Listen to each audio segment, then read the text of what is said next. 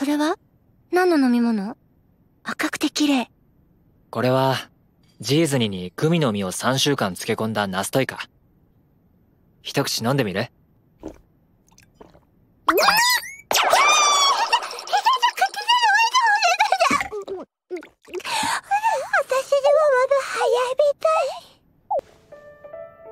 ねえ、レフ、レフ？